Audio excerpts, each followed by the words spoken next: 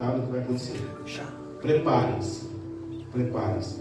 A junta diaconal, eu fiz uma reunião com eles em separado, entreguei aquilo que Deus me entregou naquele rolo que o anjo me mostrou. Quem estava lá na sala sabe muito bem o que eu estou falando aqui. Então, estejam preparados. Amém? Amém? Bom, a primeira coisa que nós temos que aprender nesta noite é que Deus é amor, mas é justiça também. Amém. Primeira coisa. Tem muita gente que acha que Deus é só amor. Deus não é só amor, Deus é justiça também. As guerras, os rumores de guerra, Coincidentemente, hoje lá no meu Instagram, eu não sei o que está acontecendo no meu Instagram. O Instagram está crescendo assim organicamente de uma forma que eu não estou entendendo. E eu acho que é Deus, porque hoje duas pessoas me procuraram no Instagram falando assim, pastor, eu só publica tanta coisa de gente, de guerra, o que está acontecendo? Aí eu falei, leia Mateus 24. Aí passou um tempo de tarde, ela me ligou de novo. Ela é uma, ela é uma engenheira, falando, olha, eu não estava prestando atenção de que isso realmente tem a ver com o Apocalipse, tem a ver com a palavra de Jesus. Uma outra é uma médica, uma médica ou paramédica, uma coisa assim. E ela também me fez a mesma pergunta, eu pedi para ela ler lá em Lucas e Mateus. Ela voltou no meu Instagram dizendo: Nossa, não é que o senhor está publicando os sinais e a gente não está percebendo? Não sei se aqui, quem é que me segue lá no meu particular? Vocês estão vendo lá o que eu publico? É isso aí. Então, as guerras os rumores de guerra, as pandemias, os fundamentos da terra sendo abalados, né? E tantas coisas diferentes acontecendo pelo mundo afora. Mateus 24, verso 6 ao verso 8. Abre aí, nós vamos ler. E diz assim: E ouvireis de guerras e de rumores de guerras. Olhai, não vos assusteis, porque é mistério que tudo isso aconteça, mas ainda não é o fim. Porquanto se levantará nação contra nação e reino contra reino, e haverá fomes e pestes e terremotos em vários lugares. Mas essas coisas são o princípio das dores. Quero até aproveitar para dizer a vocês, nós estamos na iminência de mais uma guerra. Israel provavelmente vai entrar em guerra contra o Líbano, e entrando contra o Líbano, ele vai entrar contra o Irã também, e aí, valha-nos Deus se já não for Gog e Magog. Vale-nos Deus. Porque eu não sei, Deus sabe. Lido esse texto, já ganhou? Que maravilha. É rápido, né? Só emprestou. Só emprestou. É a nenenzinha Vitória da Lindo, com a Lindo, o casado, que Deus avisou que vem neném, né? Então já adiantou lá o neném, né? Essa lido esse texto, a gente vai fazer a seguinte pergunta: Deus pode enviar juízo sobre a terra? Sim. Sim. Há uma base bíblica sobre quando Deus derrama a sua mão de justiça sobre o povo? Será que tem na Bíblia isso? O que vocês acham? Sim ou não? Sim. Sim, irmãos e irmãs. Há juízo de Deus sobre o povo e o profeta Ezequiel nos ensina sobre isso a partir do capítulo 7. Nos, vou ler apenas os versículos 2 a 4. O profeta Ezequiel está no Antigo Testamento, profeta maior. Ele só não é messiânico, ele é um profeta chamado profeta da revelação. Ele, messiânico é Isaías, ele é o profeta da revelação. Ezequiel capítulo 7, versículos 2 até o versículo 4. Vai dizer assim: e tu, ó filho do homem, assim diz o Senhor Deus acerca da terra de Israel. Observe. Vem o fim, o fim vem sobre os quatro cantos da terra. Agora vem o fim sobre ti, porque enviarei sobre ti a minha ira, e te julgarei conforme os teus caminhos, e trarei sobre ti todas as tuas abominações. E não te poupará o meu olho, nem terei piedade de ti, mas porei sobre ti os teus caminhos, e as tuas abominações estarão no meio de ti, e sabereis que eu sou o Senhor. A palavra é dura. A palavra aqui não é mamão com açúcar, não é docinho. Observe que a palavra profética não é apenas sobre Israel. Olha bem esse texto. Porque tem gente que acha que é só sobre Israel. E ele está dizendo que, mas sobre todos os quatro cantos da terra. Olha aí. Verdade. Ele não está falando que é só sobre Israel. Ele está dizendo: mandarei minha justiça sobre Israel e sobre os quatro cantos da terra. Então nós estamos aqui? Nós estamos incluídos nisso aí? Entende? Porque muita gente acha, ah, não, a profecia, a profecia de Ezequiel é para Israel. Não, é para nós também. Basta você ler direitinho a Bíblia aí. E diz mais, né? É muito interessante, né? E Deus avisa que derramará ira por causa das abominações. Tem uma razão. O que que faz Deus ficar irado? As abominações. Eu não vou citar o nome aqui, mas Deus acabou de destruir uma grande igreja no Brasil. Hoje, falei com a pastora hoje lá, hoje fechou mais sete igrejas deles no Brasil. Sim. É aquela que você falou aí. Tinha fechado 38 e hoje mais 8. Total 8, 8, 16, 46 igrejas foram fechadas. Uma grande igreja. Por causa de quê? Abominações. O pastor estava fazendo abominações. Batendo na esposa, traindo a esposa, aceitando massagem da empregada, e vai por aí afora, desvio de dinheiro. O nome disso na Bíblia é abominações. Amém? Aí, só para vocês saberem, isso foi profetizado há três anos atrás. Que Deus ia começar a tocar nas igrejas que estavam em abominações. E virão mais.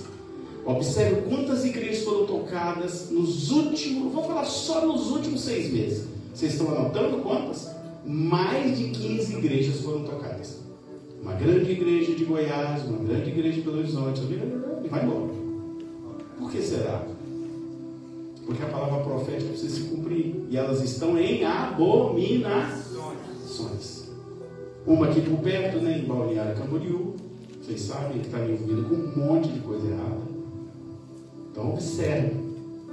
Lembra quem estava, quem lembra da palavra que Deus me deu em sonho lá na casa da minha mãe? O, o, o anjo veio, trouxe o rolo e falou o quê? Fiquem nas igrejas que estão com essa palavra. Saiam daquelas que estão com abominações, que não, que eu não estou. Lembra hoje? Eu não estou lá. Eu nunca esqueci disso. E são várias, tá? Deus já saiu de várias igrejas. Porque eles não pregam a palavra. O interesse deles é outro. É de quantidade, custe o que custar. Muito bem. O que, que Deus está falando dessas abominações? As abominações são o que, biblicamente falando, teologicamente falando? São as, os pecados, as iniquidades do próprio povo o seu comportamento como servo e serva de Deus está sendo observado por Deus. Não apenas aqui, porque nós aprendemos na semana passada que os olhos de Deus estão sobre toda a terra. Por quê? Porque os quatro seres viventes, quem lembra da pregação da semana passada, eles têm olhos por dentro e por fora. Para dizer o quê? Que Deus é onisciente. Os olhos dele estão sobre todos os lugares. Lembra da pregação da semana passada? Então se liga aí. Deus é amor, mas ele é juízo. Tá? Presta atenção, ele é justiça, mas ele é juízo também. Quando o povo se afasta de Deus, o próprio Deus devolve em ira e juízo. Está lá na Bíblia.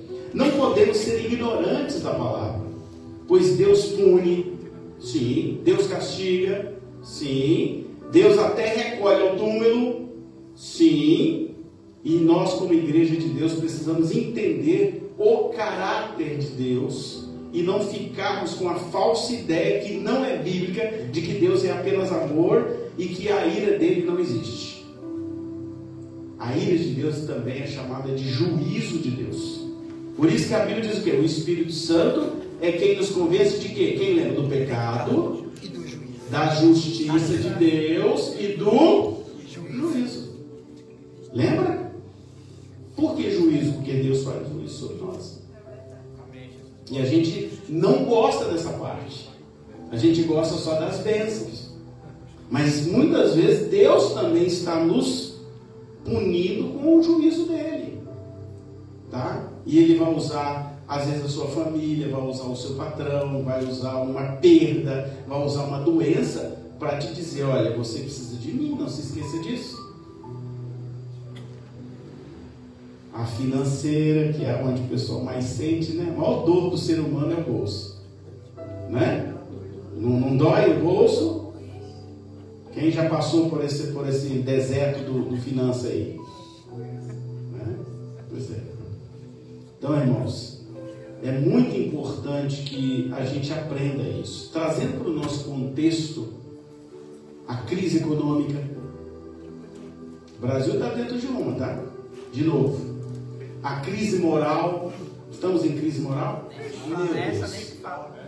Meu Deus, agora né, a gente pode até comercializar até 40 gramas, não tem problema, né? Está tudo liberado, né? Quem imaginou que o Brasil ia chegar nesse ponto? Um país cristão e conservador. E por uma decisão de 11, 11 coisas, a gente é obrigado a aceitar uma lei que não foi aprovada pelo parlamento. Pelo parlamento. Então, assim, o Brasil está de pé a cabeça, né? Direito constitucional que eu estudei, eu sou formado em direito, meu filho está fazendo, não existe, né? Tem que rasgar aqueles livros tudo porque não existe mais. Né? Enfim. Crise política, estamos em crise política? Crise social, temos? Ou sempre que Israel buscou a Deus, prosperou. Sempre. Está aí na Bíblia, basta você ler aí no Antigo Testamento. Mas quando se afastou, as crises vieram e foram até tomados como escravos de outros países. Né? Sempre era resultado do afastamento de Deus. Os reis de Israel se corromperam e se afastaram dos caminhos do Senhor. O Antigo Testamento está lotado de exemplos aí. A maioria deles se afastou. E aí, quando se afastavam, o cajado de Deus descia. E eles sofriam. E o sofrimento chegou a tanto que eles viraram escravos. Ficaram escravos muitos anos de vários povos. Os persas, né? Mas a pior crise que um servo de Deus pode passar, irmãos, é a crise espiritual. Sim, porque essa crise começa, sabe quando? Quando você se afasta de Deus e aí o inimigo começa a tomar o lugar de Deus na sua vida. Essa é a pior crise que existe. E você certamente conhece pessoas que estão vivendo essa crise espiritual aí. Você hoje mesmo teve uma experiência dessa. Você foi lá, fez o seu trabalho, o inimigo foi lá e, e tirou todo o seu trabalho.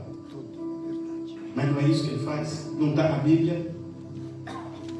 Então, quantas pessoas que você conhece que estão afastadas de Deus, que decidiram abandonar Deus, decidiram se apostatar de Deus e fazer o que a Bíblia diz: fazer o que é mal perante o Senhor. Tá, o Antigo Testamento está cheio dessa palavra. E fizeram o que era mal perante o Senhor. Quantos você conhece? Quantos? Quando você olha para essa igreja, você lembra de alguém que já esteve aqui que hoje não está mais? Você lembra? E que hoje estão servindo a outros. Os fundadores dessa igreja aqui, que é o Leandro, a Diene, o Igor e a Gisele, certamente quando eu falo isso, deve trazer na mente dele pessoas que estiveram aqui lá no início da igreja que hoje estão vivendo nas mãos de Satanás. Não, não é purinho. Não tem? Sim. Vocês lembram aí? Sim. Como nós também vimos gente que saiu daqui, né? E que hoje, a, a Cléo já está balançando a cabeça, eu tenho certeza que ela sabe quem é. Estão aí, né? Sofrendo juízo de Deus. Não é, Cléo? Você sabe, né? Eu sei de quem que você está pensando aí, mas é verdade. Não é juízo de Deus que aconteceu? Enquanto estava quieto aqui, estava tudo indo muito bem. Não é verdade? Você sabe. Tudo indo bem, prosperando, né? Aí caíram na bobagem, largaram Deus e hoje estão debaixo de juízo de Deus, que é o pior. Juízo de Deus. Fazer o quê? Falta de aviso? Falta de pregar a palavra? Aqui, aqui se prega para lá? Sim. Só que eu não posso obrigar ninguém a fazer. Né? Cada um prestará conta de si mesmo perante o próprio Deus. Né? Enfim. Crise espiritual, sabe? O que, que é crise espiritual? Afastamento de Deus. Mas a pior crise que um servo de Deus pode passar é essa, a crise espiritual. Sim, porque essa crise começa exatamente quando você decide, que a decisão é sua, afastar de Deus. O mesmo acontece com a nação quando ela zomba de Deus, quando dá lugar a outros ídolos no lugar de Deus. Quando perseguem a palavra de Deus, como está acontecendo no Brasil, zombaram de Jesus no carnaval, zombam de Jesus naquelas passeatas LGBT e não sei mais o que.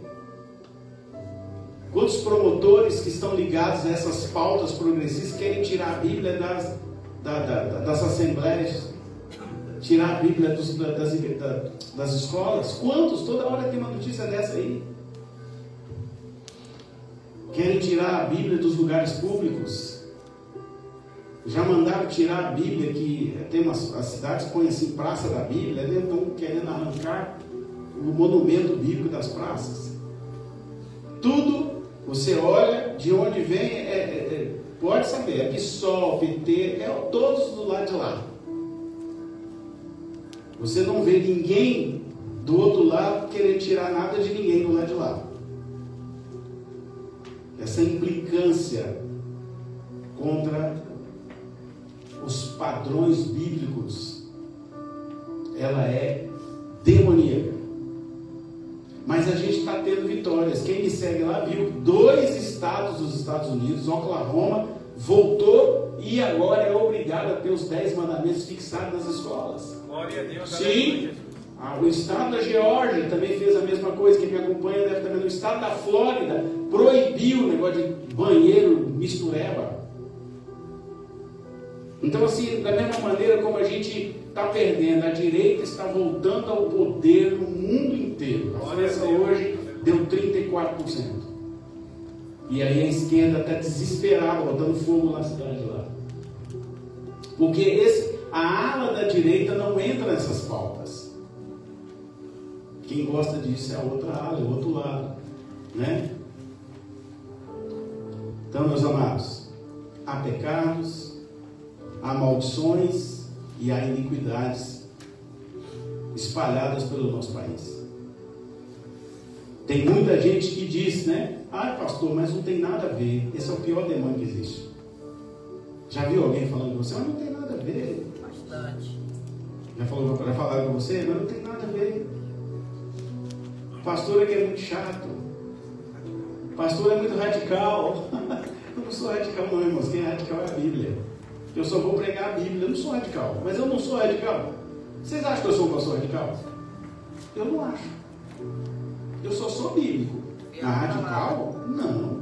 Vocês não conhecem o que é radicalidade. Radicalidade foi o que a neta do, do Heriberto passou aí numa outra igreja.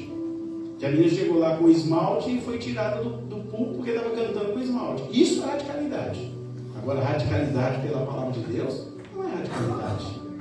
Porque isso é doutrina humana, não está na Bíblia isso, né? Entende? Aí ia ser radical. Algum dia eu chamei alguém aqui na frente para disciplinar ele aqui na frente, perante todo mundo? Não, nunca fiz isso. Porque quem vai cuidar dos seus pecados, quem vai cuidar de disciplinar você é o próprio Espírito Santo. Eu não preciso disciplinar ninguém. Para quê? Vocês que estão aí na diretoria, quantas reuniões de diretoria houve aqui na igreja durante sete anos? Uma. Só uma. Sete anos houve uma reunião de diretoria, eu falei, não precisa mais. Por que não precisa de reunião? Porque nós estamos andando certo com Deus. As reuniões acontecem no WhatsApp mesmo, a gente tudo que tem que fazer, cada um sabe o que tem que fazer aqui. A junta diaconal sabe o que tem que fazer, eu sei o que eu tenho que fazer, o Ministério de Comunicação sabe o que tem que fazer. Cada um sabe o seu papel. E aquele que não sabe, só me preocupa e dizer, pastor, nós vamos fazer isso, isso, isso. Pronto. O Ministério das Mulheres sabe o que vai fazer. O Ministério da Decoração sabe o que vai fazer. Não é verdade? Quando vai ter o almoço ou vai ter é, o negócio da, da, da roça, Vocês sabem o que tem que fazer. Precisa brigar? Tem, tem briga lá no nosso grupo?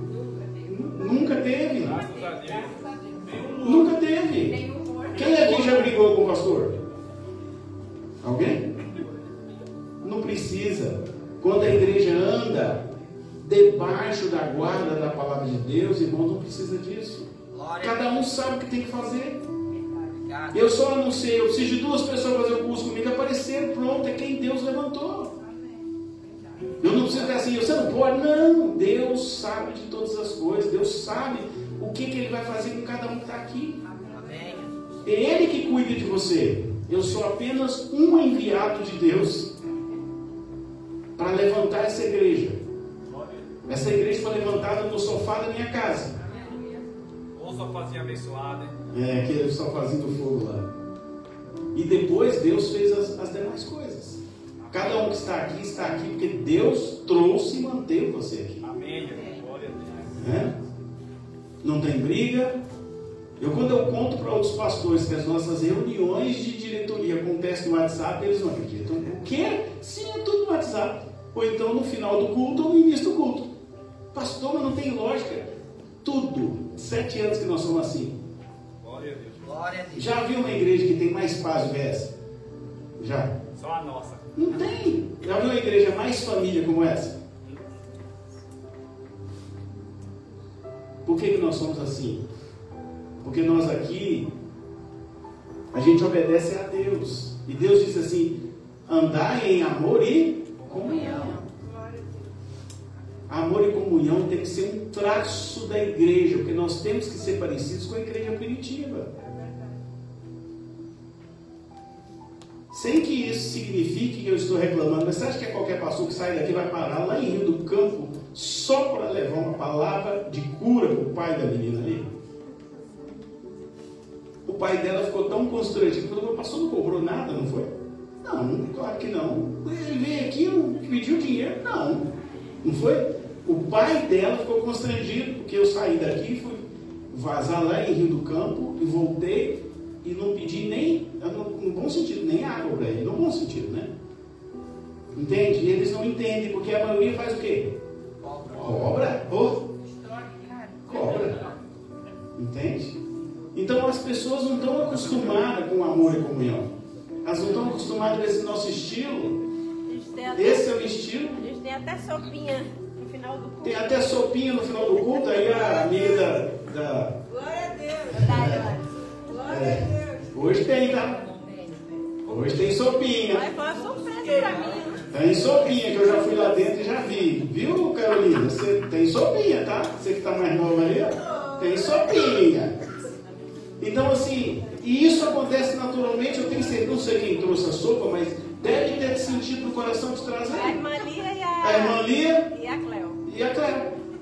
Eu pedi. Você pediu? Não. Mas não precisa, porque elas sentem no coração e trazem para abençoarem cada um de nós. A gente vive a igreja de Sabe? Atos. A gente vive a igreja de Atos dos Apóstolos aqui. Glória a Deus. Sim, irmãos, quando eu conto isso para outros pastores, eles não acreditam. Como é que é? Todo final de culto tem café? Não. De graça, de graça. Tá aí a Carolina que está chegando agora. Você pagou alguma coisa para ninguém no delas? Não, não pagou e nem vai pagar. Nós tiramos o recurso do dízimo da oferta. A, amiga dela, Darlene. Amiga Eu dela, nunca Darlene. vi uma igreja que dá tudo de graça. É, nunca vi. a, é Darlene, ela é da Igreja Calvário, né? Lá de Gaspar. Ela falou com a, com a Daiane, ela teve aqui no negócio das mulheres, falou assim, eu nunca vi uma igreja que dá tudo de graça. Não tem, irmão, tudo é cobrado. Com fartura. né? É. Mas a gente acha, a gente fez assim. Eu sei que eu fui criticado muito, né? Eu tenho uma pessoa específica que me critica muito por causa disso. Mas eu não vou mudar. Glória a Deus. Sabe? Se esses recursos que entram aqui é para nos abençoar também. Abençoar outras pessoas, abençoar a gente aqui, manter tudo isso funcionando. Glória a Deus. É o seu dízimo, a sua oferta que mantém tudo isso aqui. Você já parou para pensar? Quando você vai lá atrás, lá tem copinho, tem cafezinho, tem banheirinho limpinho, né? É o dízimo da oferta. A propósito, banheiro limpinho, né?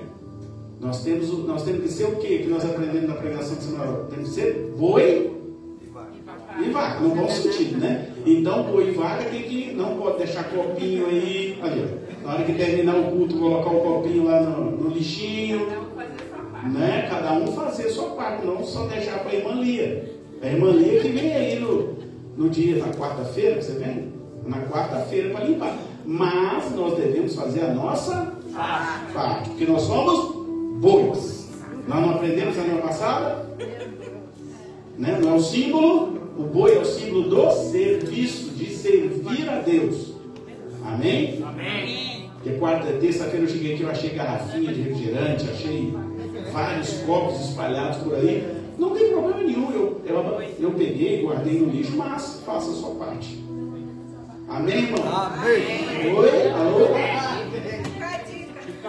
Fica a dica. Hashtag fica a dica.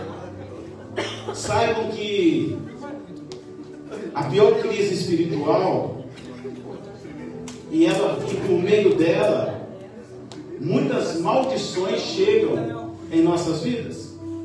Quando a crise espiritual vem e você dá lugar à crise espiritual da tua vida, aí ela vem acompanhada de várias outras coisas.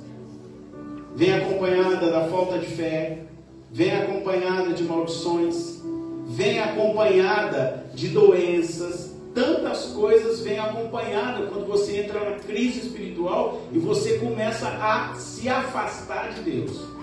Igreja salva? Não, mas é o lugar dos salvos. Verdade.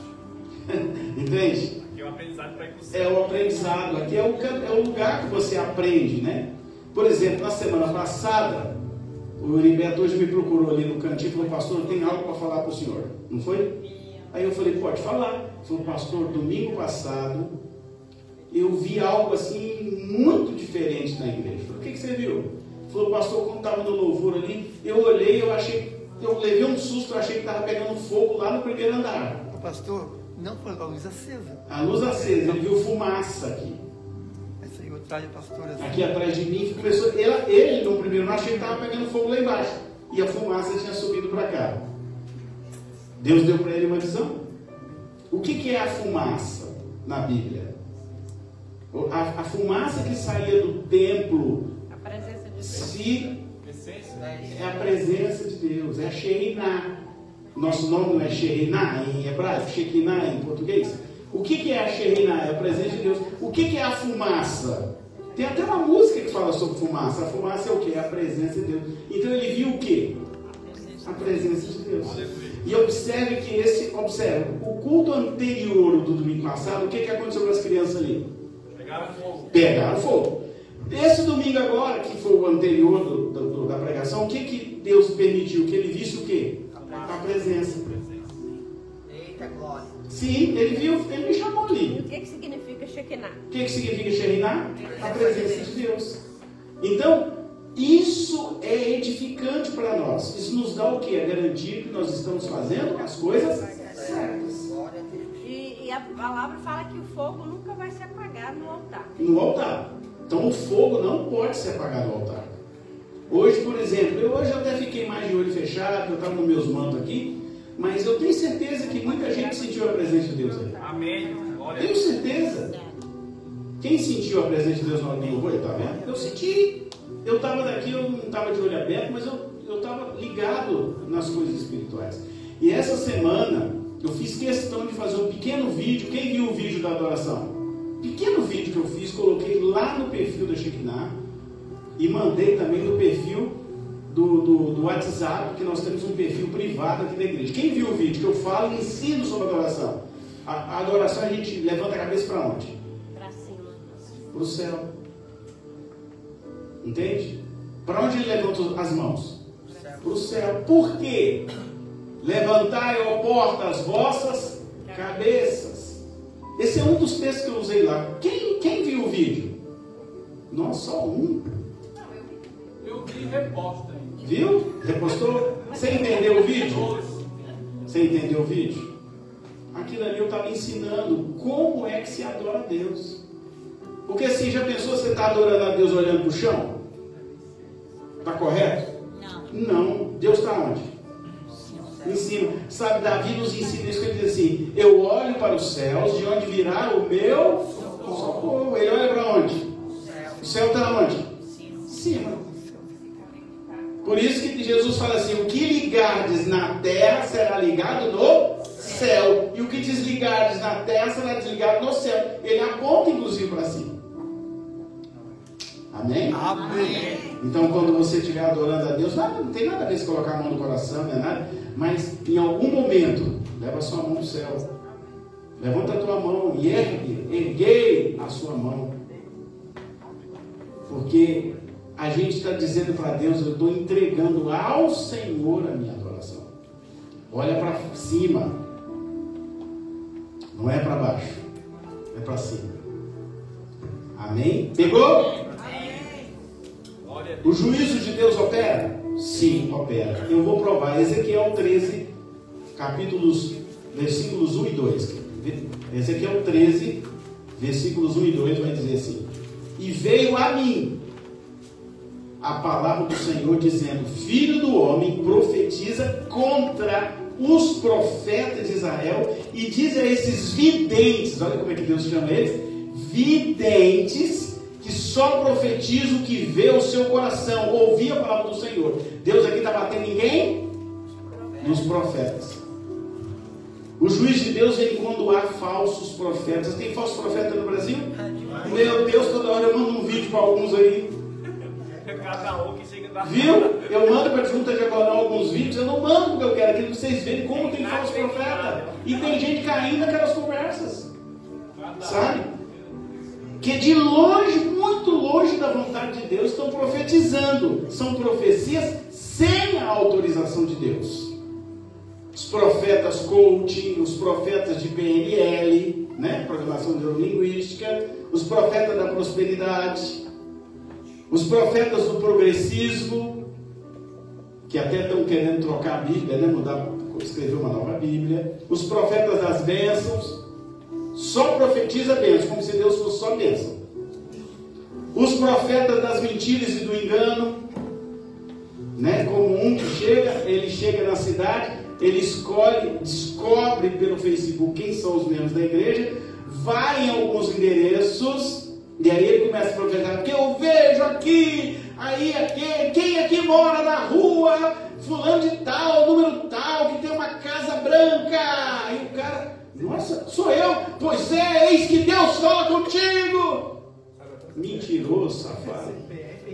Sabe o CPF RG? Essa história do CPF RG já foi desmantelada aí na, na internet. Existem profetas da verdade?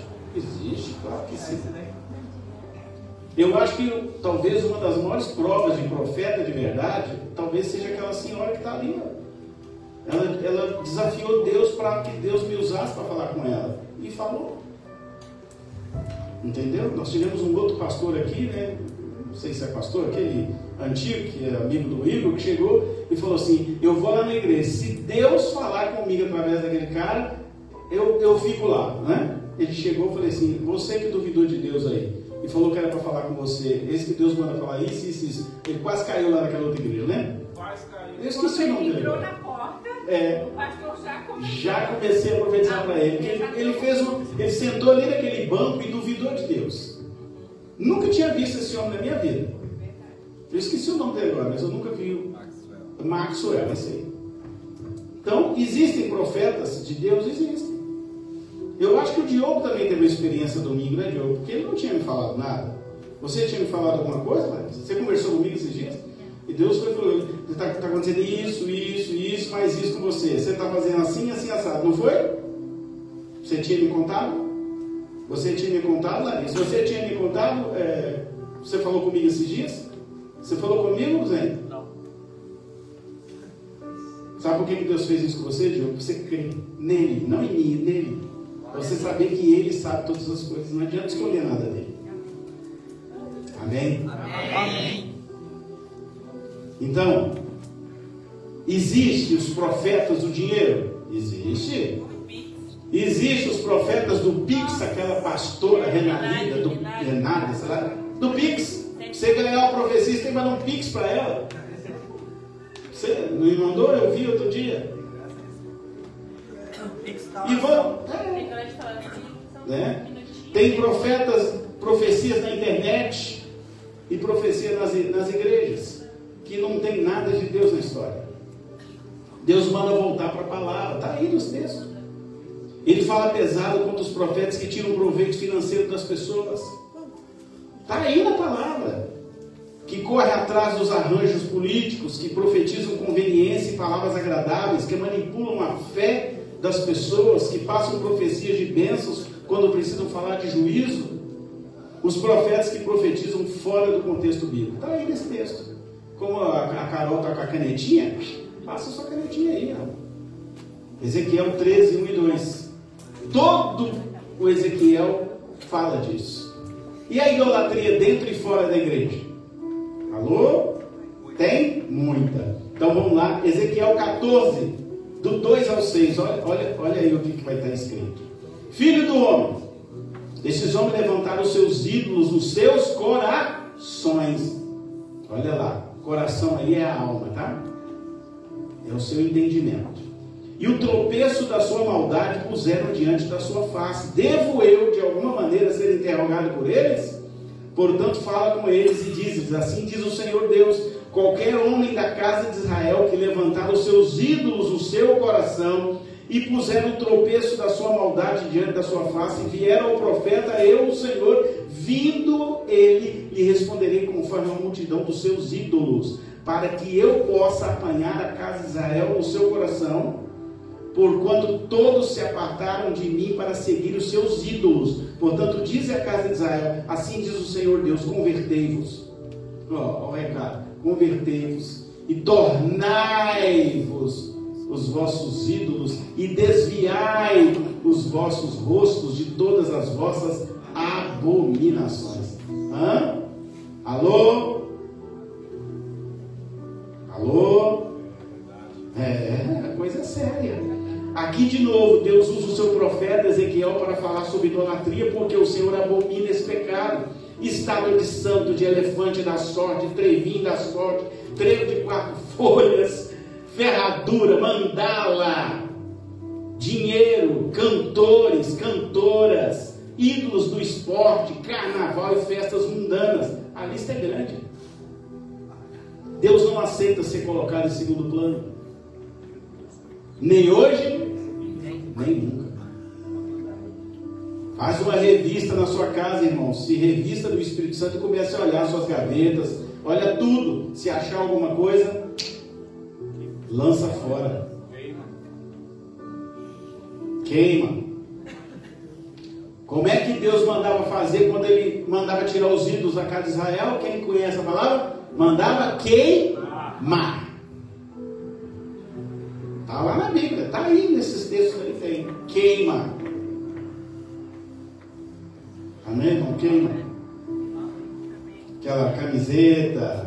Hã? Aquela camiseta. Era com aqueles negócios infernais assim, sabe? Queima. Queima. Ela perguntou assim, para queimar lá? Foi a foto da sogra.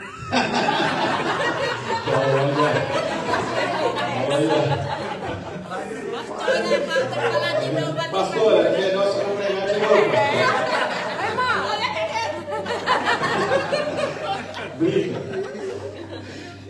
Ídolos malignos sempre foram e continuam sendo levantados na cultura diabólica e são milhares e milhares de pessoas que caem nessa conversa manipuladora do diabo. Manipular até o arco da aliança de Deus que Deus deu após o dilúvio Aquele arco, o arco-íris é nosso. Mas aí alguém foi lá e se apossou dele. Sabiam disso? O arco-íris, o que, que aconteceu depois do dilúvio? Deus falou assim: Eu vou botar um arco-íris que servirá como minha aliança. O que, que eles fizeram? Se apropriaram e usam para outras coisas. Sim. É. Sim. Sim. Quantos cantores e pastores são popstar por aí? Sim. Esse dessa igreja de Caiúba, era popstar, né? Sim, porque eu, ele foi convidado para ir num evento que eu também fui, mas ele chegou lá de Mercedes, precisou vir um aviãozinho para trazer ele até a cidade. Eu fui de ônibus, tá? E ele exigiu, não pôde ficar no mesmo hotel, porque não tinha um quarto à altura dele. Aí ele foi para um hotel mais chique. Sim, chegou lá com quatro seguranças. Lá naqueles eventos lá de, Alves de Lindóia eu fui. Eu falei, rapaz, o homem é. O homem pop está quatro segurança para pastor? É, nós da Jesus precisa ser Sei lá. Eu vi, né? E o tanto de apóstolo que tem por aí? Pastoras que existem espalhadas por aí que cobram cacheiras astronômicos para cantar e pregar a palavra de Deus. Igreja virou palco de shows e apresentações, luzes e efeitos especiais. Sim, irmãos, a gente tem que falar a verdade. Não é porque eu estou aqui que eu não vou falar a verdade. Igrejas corrompidas com idolatria a homens e imagens. Pastores trocando de esposas como troca de camisa. Sim, irmãos, infelizmente. A esposa vai ficando mais velhinha, ele troca por uma nova.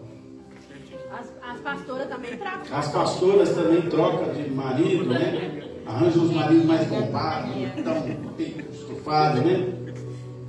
Entendeu?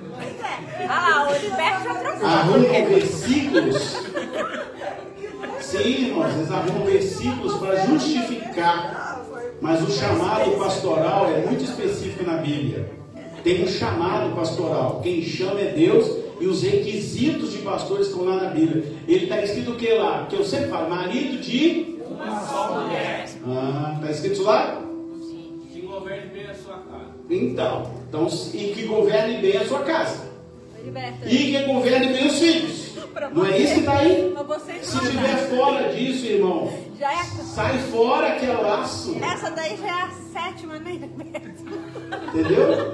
Sai fora que é laço. Você viu que o Heriberto trocou a mulher. Novinha, pastor. Ah, trocou, mas. Tá novinha. É, tá com a menina agora. né? Menina novinha. Ô, você aceitou isso aí? Ai, meu Deus. Bom, e tem muita gente que não entende os mandamentos de Deus, eu vou repetir aqui. Presta atenção. Êxodo 20. Êxodo 20. Tem um mandamento lá que está escrito assim: Não terás outros deuses além de mim. Não farás para ti.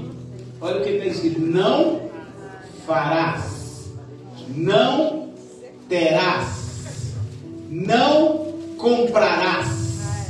Não aceitarás. Não ganharás. Não receberá de presente. Precisa explicar mais ou tá bom? Nenhum ídolo. Vou repetir. Nenhum ídolo. Ah, mas pastor, isso é só. é Nenhum ídolo. Tá claro isso aí para vocês?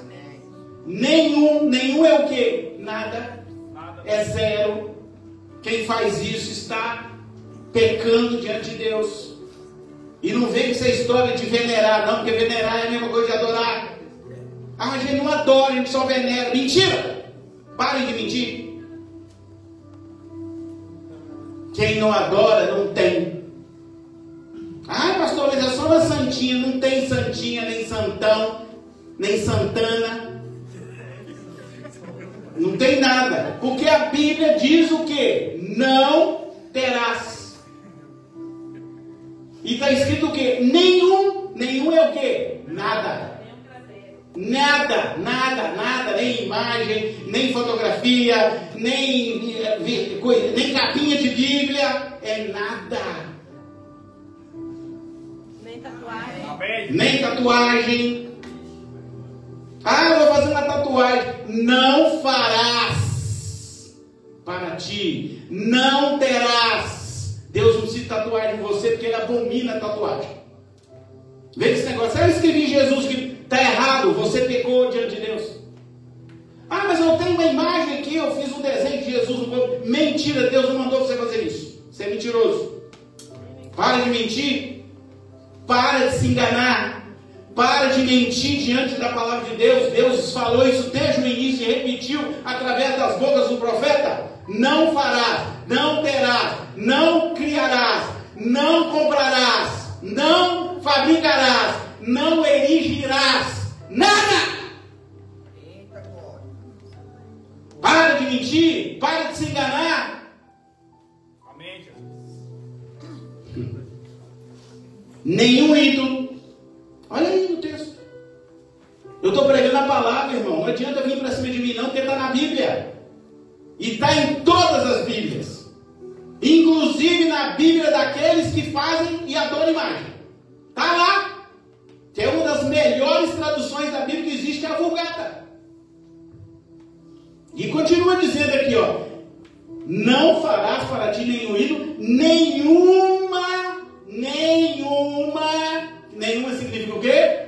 Zero, nada. Nenhuma imagem de qualquer coisa no céu. Ah, vou fazer uma borboleta, pastor. Sai fora! É do diabo. Para de se enganar. Lê a palavra. Se volte para a palavra. Pare de levantar ídolos para a sua vida. Não imagem de qualquer coisa no céu, na terra ou nas águas debaixo da terra. Vou fazer um peixinho. Não. Borboletinha. Não. É tudo não. Será possível que as pessoas não conseguem entender nem a língua portuguesa? Lê aí, pelo amor de Deus. Será que você não consegue entender a língua portuguesa? Qual língua você quer entender então? Você quer que um anjo desce e fale em língua estranha com você? E continua, não parou não. Está escrito aqui, ó. Não te prostrarás diante deles, nem lhes prestarás culto. Alô?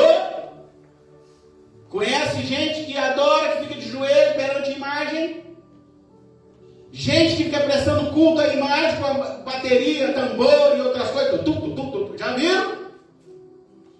Tá certo? Tá certo conforme a Bíblia diz? Não. Não. Será que dá para entender o português dessa Bíblia aqui ou tá difícil? Só não entende quem não quer entender, irmão. E é por isso que estreita é a porta que vai para a salvação. Larga é a porta da perdição. Se a salvação fosse para todos, aquele ladrão teria ido com Jesus, ele não foi. Só foi o outro. O outro ficou para trás. Por que não foram os dois? Porque um se arrependeu e o outro Porque um se arrependeu e o outro não. Então a salvação é para todos? Não. Não. Ontem mesmo, hoje passou o negócio do The Chosen, Jesus falou, eu vim para dividir. Está na Bíblia, eu vim para dividir as famílias, porque um será tirado e três será deixado. Está aí na Bíblia, irmão. Ele mesmo falou isso. E aí você fica na família, meu Deus, só eu vou ser salvo? Sim. Jesus avisou que teria divisão na família. Ah, mas a minha irmã, meu irmão vai ficar? Vai. Vai para o inferno? Vai. não quer. Não quer se arrepender. Quer continuar vivendo a vidinha do mundo? Fica. O dia que o mundo acabar, vamos ver, né? Aí na hora que você estiver no inferno, ah, manda aqui. Ó, só uma gotinha de água aqui no dedo. Não tem. Exemplo, prega, não quer? Não quer? Vai pro inferno. Vai pro inferno. Mas não tem outro caminho, irmão. Não tem jeito. Tem terceira via? Não, vai ser o inferno. No, no mundo espiritual tem empate? Não. Não. Ou é vitória ou derrota. Então, irmão, não tem jeito. Não adianta eu querer pregar outra coisa aqui. Deus abomina a infidelidade do povo. Sim, Deus avisa em Ezequiel 16, leiam todo o capítulo, sobre a infidelidade e a prostituição de Israel. O aviso é muito duro e forte da parte de Deus pelo profeta contra as abominações, os pecados sexuais e as vergonhas como o povo de Deus perante os outros povos. Deus fala de forma alegórica e simbólica, mas dá um duro recado. Tudo isso atrai o juízo de Deus. Leia lá no 16, você vai ver, ele fala mulher, e isso e aquilo, ele faz uma descrição alegórica dos pecados errados que as pessoas fazem. E Deus fala pesado é contra a nação de Israel, que em vez de servir de exemplo para outras, serve para levar as outras para o buraco. Conhece algum irmão ou irmã que deveria ser exemplo para você, mas que está fazendo tudo errado aí fora? Está fornicando, está abominando, está fazendo coisa errada? E ainda costuma chegar para Deus e dizer assim: Ah, você está lá naquela igreja dando dinheiro para o pastor? Dando uma ajudinha? Sim, não é isso que você escuta por aí?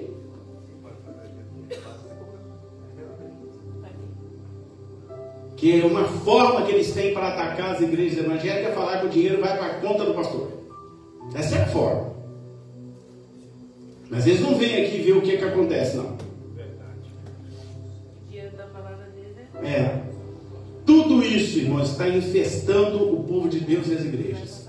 Quantos pastores trocando de esposa? Largam as mais velhas e pegam as mais novinhas. Arruma versículos para justificar, mas o chamado pastoral, né, como eu disse, é muito específico na Bíblia. Inventar e proliferar o uso do nome apóstolo e apostolar. Tem apóstolo agora? Aqui nos livros tem. Apostolar. Tem na Bíblia? Não. Tem na Bíblia? Não? Se você achar, você me mostra depois, porque não tem. Eu nunca vi, mas tem. A apóstola fulano de tal, aqui em Brusque, não precisa ir muito longe não. Gente, onde eles arrumaram isso? É onde você teve? Sim, eles têm lá. Quase que cai. Ainda bem que o pai dele pegou no pé dele aí, né? ai, ai. Levantaram pastoras. Aquela pastora que você falou aí. Aquilo é pastora? Só sabe de dinheiro? cheio de tatuagem. Pastora do. Do inferno purinho, porque ontem mesmo eu vi um vídeo dela, mas deve ficar passando a mão no rapaz. Ela fala, paz, meu irmão, você tem um minuto? Você já pensou, irmão? A mulher pastora, que não tem pastora, né? Mas tudo bem. Aí ela ontem estava passando a mão no rapaz. Como tem um pastor aí na internet, não sei se eu mandei para vocês, que a senhora chegou lá, ele ficou passando a mão no bumbum da mulher. Sim, tá aí na internet. Como é que você acha que Deus está olhando isso lá de cima? Passando. Está entendendo? Onde está na Bíblia que pastor pode ficar passando a mão em mulher? Que dia que você já viu eu fazer isso aqui? Que dia que você já viu eu orar para mulher sozinha? Que é a coisa mais rara. Eu sempre chamo aí a, alguém, vem cá, me ajuda, fica do lado, ou o marido. Não é isso? Quando você pede oração, fica do Diogo? Vem para cá. Não é, Diogo? Fica do lado. Ele tem que estar do lado, ué. Que negócio o pastor ficar, eu, hein? Que história é essa? Pois é. Até isso eu vi na internet essa semana. Já pensou, mas o meu marido, eu estou lá sentado na igreja, o pastor chama minha mulher para orar e você está doido? Eu vou nele na hora. Se aí eu perco a minha bênção, eu vou nele, eu morro ele todo. Sim, eu morro nele. Tá louco?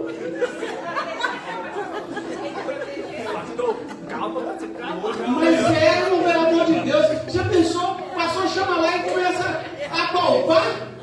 Tá louco? Tá ficando doido? Eu não tenho sangue de barata, não. Não, irmão. Eu bebo minha bênção na hora.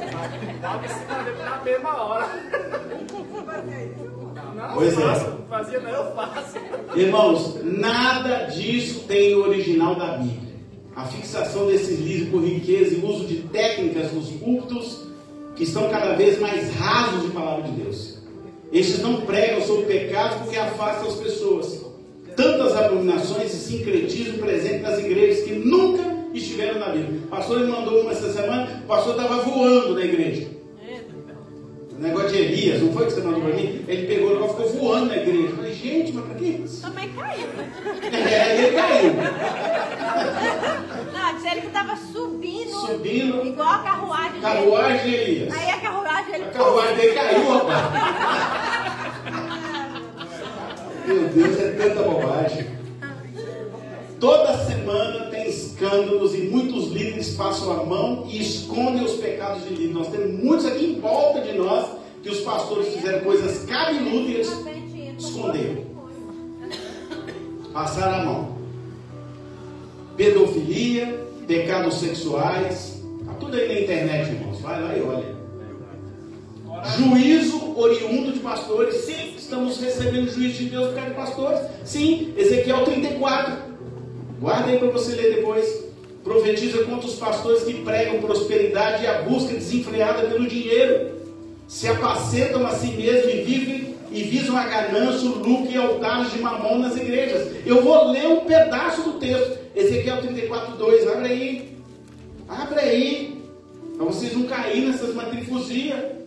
Está escrito assim: Filho do homem, profetiza contra os pastores de Israel. Profetiza e diz aos pastores: Assim diz o Senhor Deus: Ai dos pastores de Israel que se apacentam a si mesmo. Não devem os pastores apacentar as ovelhas? Apacentar a si mesmo e pegar tudo para ele mesmo. Aí sim é pegar o dinheiro para ele, é ficar pedindo dinheiro, é ficar... isso sim. Ficar só querendo, né? É pastor que fica pedindo carro lá na, na, no púlpito. Tem uma irmã aqui que chegou recentemente, ela, ela sabe o que eu estou falando. Tem igreja que pede, né? Você só pode me dar ouro, irmão. Não vem através de prata, não, que não dá certo. Aí, ó, aqui o que, que Israel fala, aí você fica nessa igreja, você está amaldiçoado, irmão. Deus não está lá. A igreja está sob o juízo de Deus. Nem tudo que reluz é ouro, não, ué. As pessoas não entendem. Fazer o quê, né? Deus avisa do julgamento dos pastores que não cuidam do rebanho, mas agem apenas pelo interesse financeiro em cima das ovelhas. Não pregam a verdade, não exortam, são manipuladores da fé e mercadores de dinheiro, usam de técnicas e versículos bíblicos e campanhas para arrecadar, arrecadar e arrecadar. Sim, está aí, tá aí na irmão. Toda hora você abre uns canais de televisão aí, é só versículo para levar as pessoas para levar dinheiro. Está cheio. Tem um aí que usa o negócio do chapéu que pede 10, se tiver 10 você dá 5, se tiver 5 você dá mil, se tiver mil você dá 500. Pelo amor de Deus, irmão, sai fora, isso não tem na Bíblia. Leilão. Vocês já viram fazer leilão aqui? Vocês estão aqui há sete anos comigo, já viu,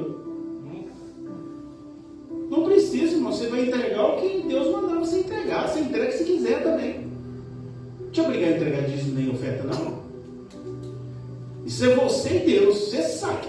Quem conhece a Bíblia sabe o que tem que fazer. Pergunta se eu fico patrulhando quem dizima aqui. Pergunta, pastor, se eu fico. Quem está dizimando? A Natália dizimou? Não, não. Isso é um problema seu e Deus, mano. Não é comigo, não. Você que sabe. Ai, meu Deus. Esses pastores não pregam a verdade jamais. Só campanha. A maioria inventada pelo marketing da igreja para atrair as pessoas e pegar o dinheiro delas. Não pregam arrependimento, não pregam santidade, não pregam a Bíblia, estão falsificando a palavra e estabelecendo uma fé morta. Pior é isso, fé morta. Esses pastores atraem o juízo de Deus sobre a nação. Está aqui na palavra. Ah, o Brasil está passando por isso, por isso. Culpa desses pastores. Porque esse tipo de prática atrai o juízo de Deus para nós. Amém? Estão entendendo a pregação? Amém. Glória a Deus. Altares sendo profanados. Eu estou quase acabando. Ezequiel 44. Marca aí com a canetinha para você ler em casa. Alerta para a profanação dos altares. Ezequiel 44, 7 e 8. E dize ao rebelde a casa de Israel: Assim diz o Senhor Deus: Bastem-vos todas as vossas abominações, ó casa de Israel, porque introduzistes estrangeiros incircuncisos de coração e incircuncisos de carne para estarem no meu santuário, para o profanarem em minha casa, quando ofereceis o meu pão, a gordura e o sangue, e eles invalidaram a minha aliança por causa de todas as vossas abominações. São os profanadores dos altares. Inventaram moda de altar de Deus, tantas coisas vemos em muitas igrejas que profanam os ensinos da Bíblia, ídolos, bezerro de ouro. Essa semana eu vi uma igreja que colocou lá a estátua do Nabucodonosor. Sim, botar na internet aí.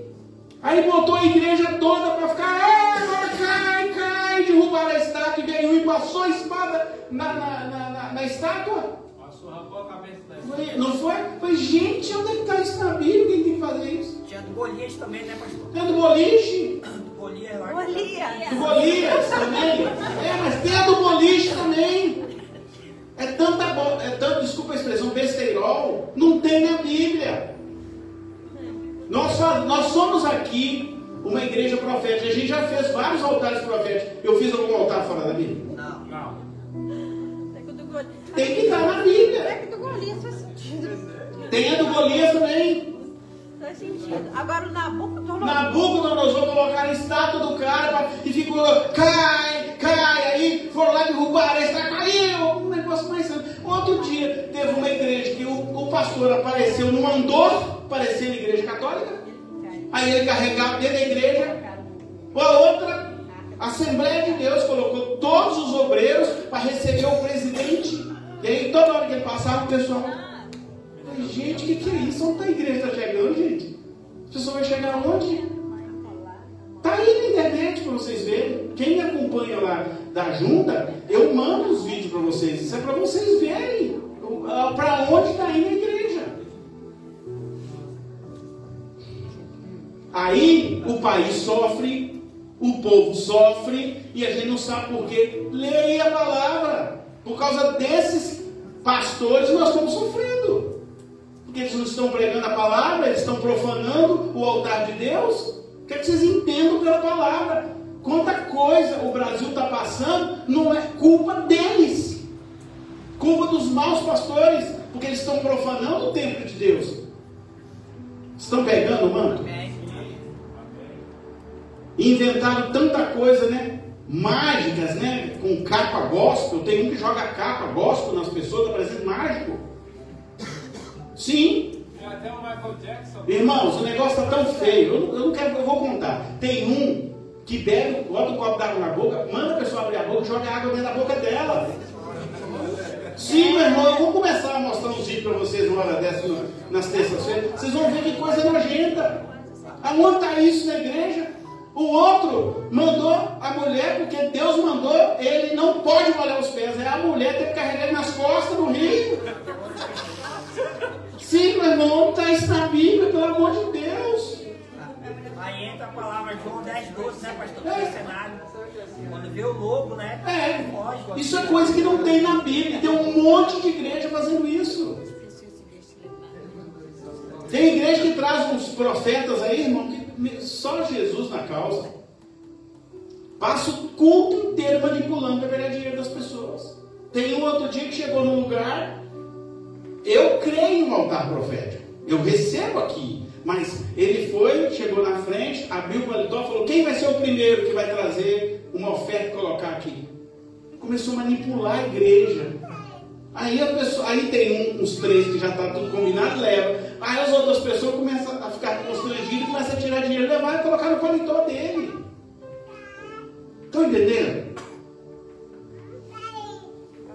Aí, quando sobre a nossa, a nossa terra, sobre o país, você não sabe por que está vindo juízo. A gente está sofrendo por quê? Por causa desses profanadores de templo. Eu estou lendo aí na Bíblia, abre a tua Bíblia e leia. Agora é qualquer pastor que prega, eu estou pregando? Não. Hum, Isso aqui é que espanta as pessoas da igreja. Só fica quem é crente raiz. Nutella não aguenta essa pregação. Não aguenta? Claro que não. Já fica com raiva. Sim, fica com raiva. Então, irmãos, tudo isso que Ezequiel avisou traz o juízo de Deus sobre as pessoas e sobre a nação. Opa!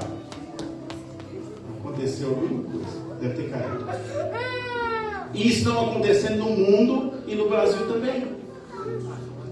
Então veja bem, que essa pregação sirva para você entender muita coisa. A nossa grande alegria, quero terminar agora a pregação, a nossa grande alegria é que a verdadeira igreja, os servos e servas verdadeiros e genuínos serão guardados do juízo final.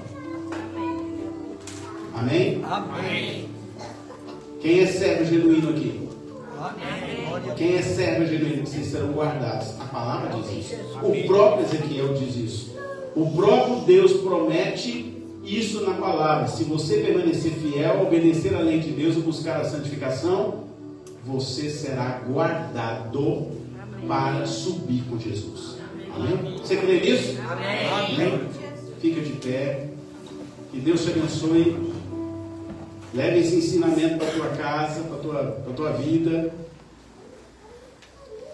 Você pode